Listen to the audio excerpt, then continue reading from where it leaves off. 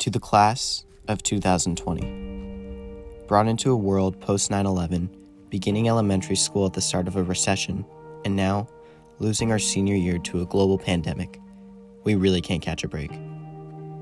I remember in first grade when my teacher told me I'd walk across a stage to grab my high school diploma in the year 2020.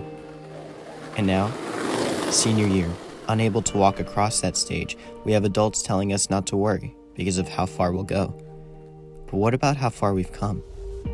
Freshman year, we were scared, looking at all the kids who were so much bigger than us.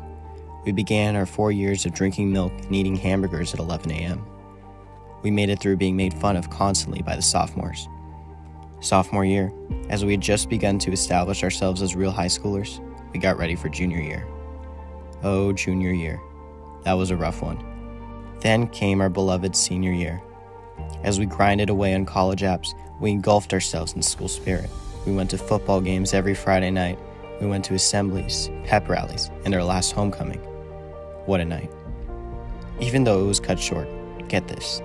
We're the only class that can tell our kids our senior year of high school was cut short by a global pandemic. I can promise you that no other class will have that story to tell. And at the end of the day, it is those stories, those experiences that make life great.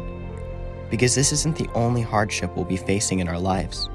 You find strength through those hardships, and that's what makes life beautiful. That's what gives us our courage and individuality.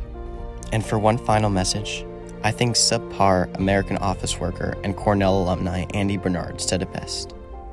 I wish there was a way to know you're in the good old days before you've actually left them.